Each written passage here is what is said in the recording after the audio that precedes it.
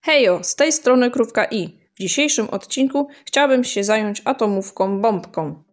Jest to czwarta, ciemnoskóra atomówka ubrana w fioletową sukieneczkę z jasnoniebieskimi włosami.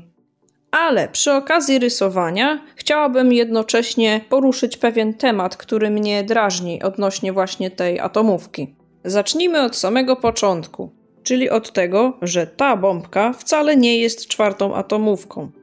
Przed nią były jeszcze co najmniej dwie atomówki, które nie były z tej trójki podstawowej.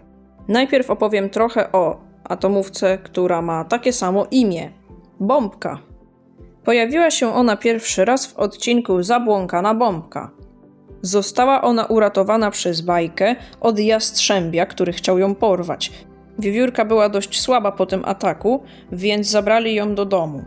Zaopiekowali się nią, lecz nadal była słaba, dlatego bajka wpadła na pomysł, żeby dać jej trochę związku X. Dzięki niemu wiewiórka nie tylko poczuła się lepiej, ale i otrzymała supermoce.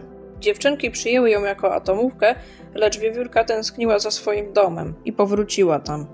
W swoim domu też zajmowała się ochroną swojego społeczeństwa, tak samo jak atomówki. Pojawiła się również w epizodzie Gryzący Problem, gdzie pomogła atomówkom porozumieć się z innymi wiewiórkami, które opanowały miasto. Nagrałam jeszcze jeden odcinek, którym rysuję tą wiewiórkę, także zachęcam do obejrzenia. A teraz przechodzimy do następnej atomówki, która była przed tą bombką. Nazywała się Bala i wystąpiła tylko w jednym odcinku zwariowana siostra. Dziewczynki zmęczone już walkami z różnymi przestępcami postanowiły pójść do laboratorium swojego ojca i stworzyć inną atomówkę, która zajęłaby się tym za nie. Włożyły do naczynia przypadkowe składniki i dodały trochę związku X. Bala nie do końca wiedziała, kto jest przestępcą, a kto nie, dlatego wypuściła z więzienia wszystkich przestępców, a wsadziła tam policjantów, ponieważ uważała, że to oni są źli. Atomówki widząc to skarciły ją, a ona uciekła z płaczem. Gdy jej nie było, wszyscy złoczyńcy, którzy wyszli z więzienia, zaatakowali atomówki. Dziewczynki nie dawały sobie rady z tak dużą ilością przestępców, więc zaczęły wołać o pomoc. Bala usłyszała to i przyleciała jak najszybciej pomóc swoim siostrom. Niestety źle się to dla niej skończyło.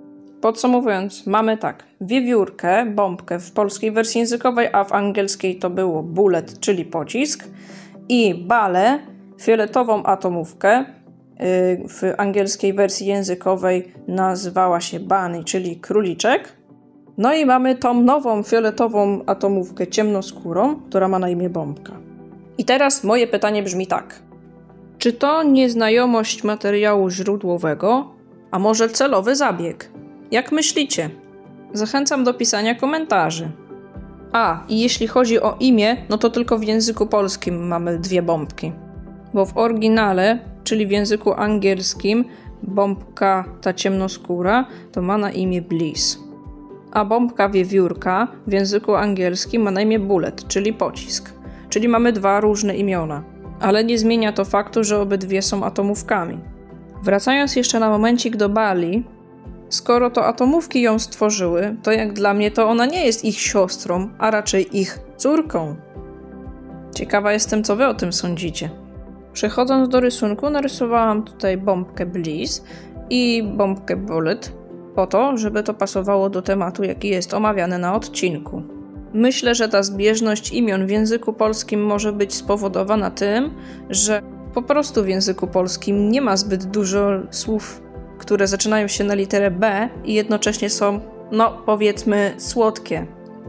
Bo nie wiem, nazwać nową atomówkę na przykład beczka albo coś w tym stylu, to tak trochę nie bardzo. I tak oto odcinek dobiega końca. Mam nadzieję, że Wam się spodobał i będziecie chcieli więcej czegoś takiego. Teraz przybliżenie, no i bye!